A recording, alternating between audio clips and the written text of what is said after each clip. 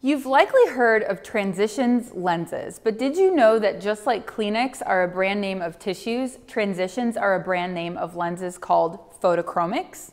In today's video, I'll be comparing the types of photochromic lenses on the market in an attempt to answer your question.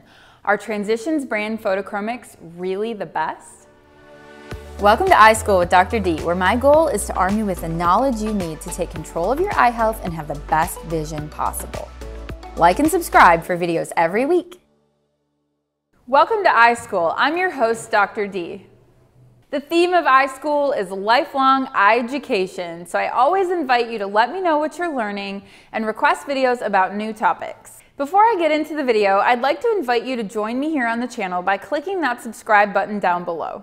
All right, Eye School pupils, let's take a look at today's topic, photochromic lenses.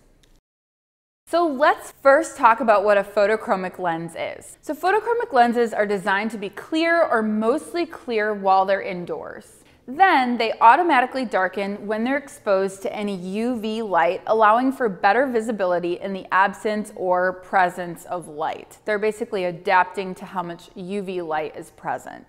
So one of the big pros of having transitions glasses is that they're basically regular glasses that turn into sunglasses.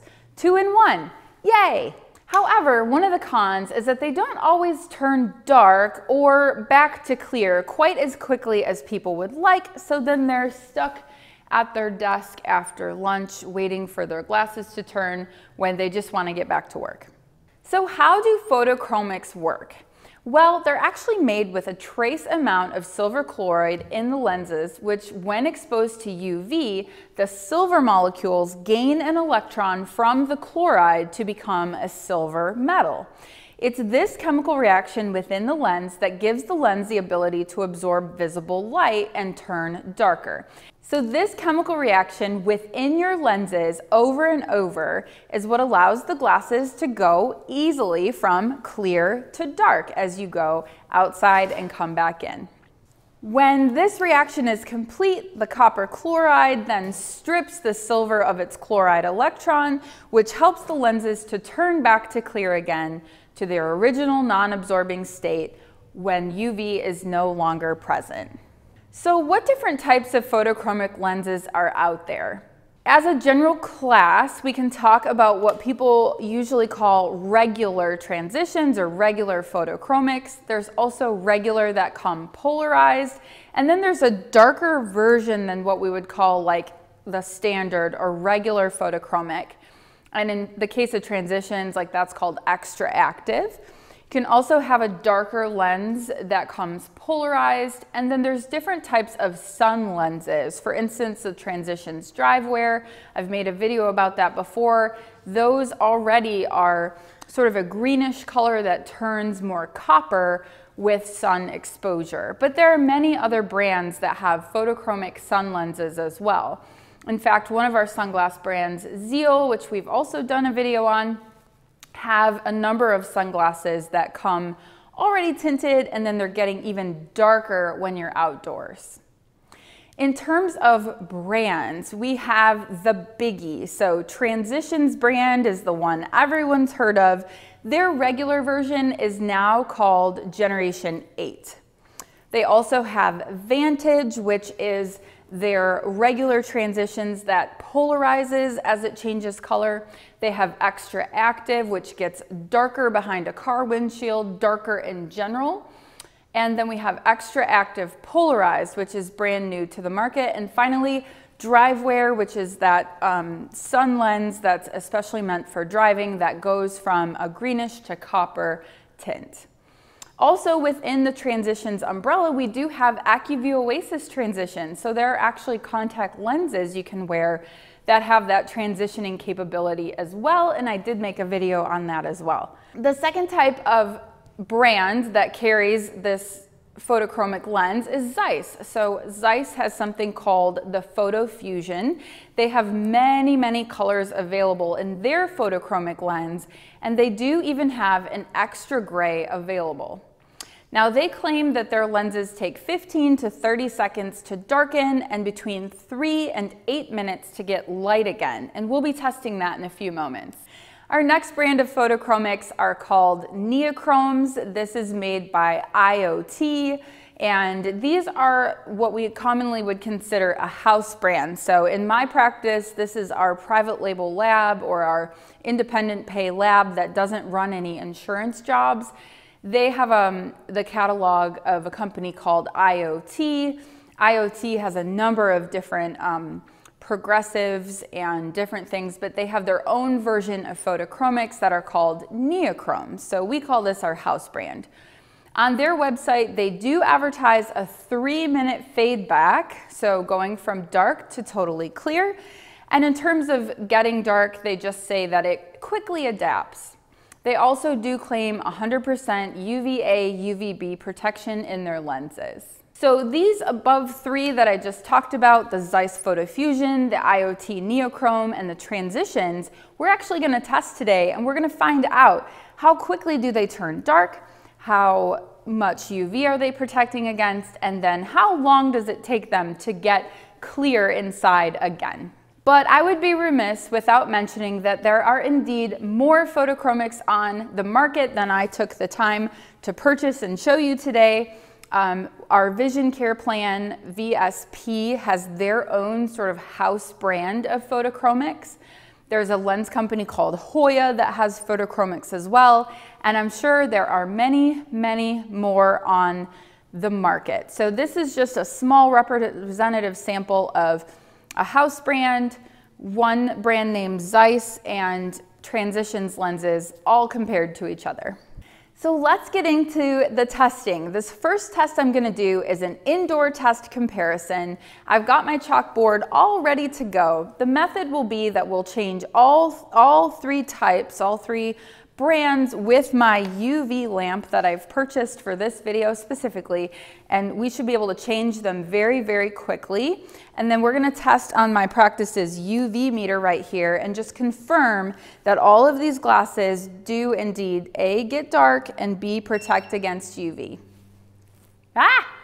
So do these lenses block UV A and B? Let me change each one, put it under the meter and record yes or no if it blocks against UV A and B at the level of UV 400.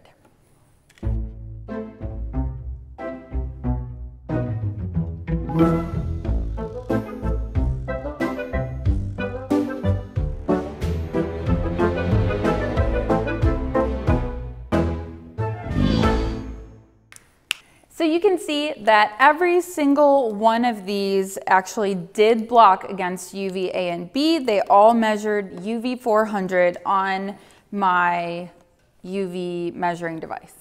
So our next test is gonna be how long each of these takes to get dark. What I plan to do is to take them all outside for you, covered up in a towels when, when they're all clear, and just show you as they turn. We'll also put a timer on screen to show you how quickly they're turning in comparison to each other. Here we go.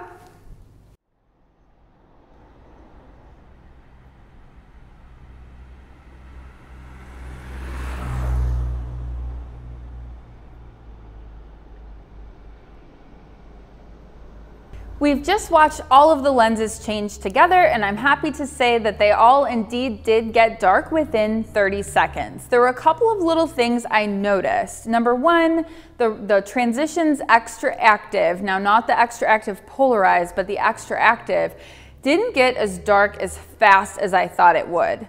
Secondly, the neochromes, I was very impressed with how dark those got. In fact, I thought they got just about as dark as the extra active lenses did. So that was just something to note.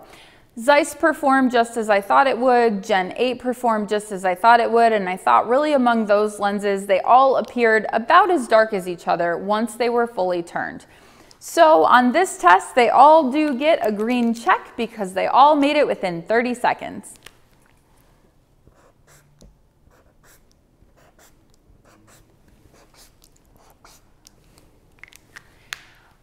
Our next test is to bring all of those glasses back inside and we're gonna watch and see how quickly they can turn back to clear. Now I'll stop the clock at three minutes, five minutes, and eight minutes to check in and see which ones have changed and which ones still have a ways to go.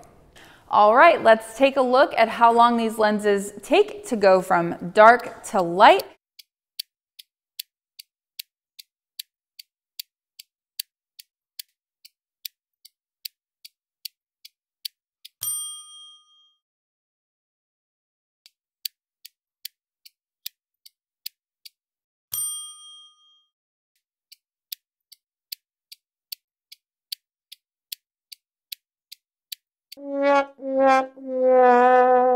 All right, so we've had an opportunity now to watch all of these lenses next to each other, changing back to clear. One thing I do wanna know is that I'm filming this in the middle of April in the South. So I'm located in North Carolina, that's where my office is. I also wanna orient you a little bit. Um, in this optical where I'm filming, there is a big window next to me and there is no UV protection in that window. And so there is some inherent UV coming into our filming space as you're watching these glasses. However, I think that that's a little more real world, right? So as you think about when you're going to wear your photochromic lenses, you most likely are gonna be in environments where um, there is a little bit of UV. So just know that and take that with a grain of salt that that's how this particular comparison was done.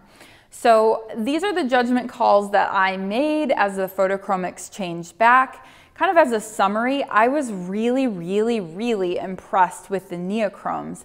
I actually thought that those changed the fastest. And so this is the gray neochromes. They also come in brown. Um, but that was really impressive to me. I thought they changed back the absolute fastest. I was also interested to see that our transitions Gen 8, there was a small difference between the gray. The gray definitely turned back faster than the Gen 8 colors. And this particular Gen 8 color is sapphire. So just, you know, I can't speak for any other Gen 8 color, but that was this direct comparison. And in this case, the gray turned back faster than sapphire. Not surprisingly, our extra actives took a little bit longer to turn back, and unfortunately, even at eight minutes, I could not give it to them. The transitions, extra active, the regular extra active had changed back, but our extra active polarized, the brand new lenses that just came out, even at eight minutes in this test, were not changed back to their clear state. And then finally, unfortunately, the Zeiss Photofusion today did not perform as well as I wanted it to or hoped it would. I thought it would be comparable to our Gen 8s or our Neochromes, and actually at eight minutes, it wasn't even turned. So that was pretty surprising to me. So that's it for today's lesson. I hope you enjoyed it and learned something. Remember, learning is lifelong, so make sure to stay tuned in in the future by subscribing to the channel. I continually update my videos as my understanding evolves and I wouldn't want you to miss a thing. I'll see you next time.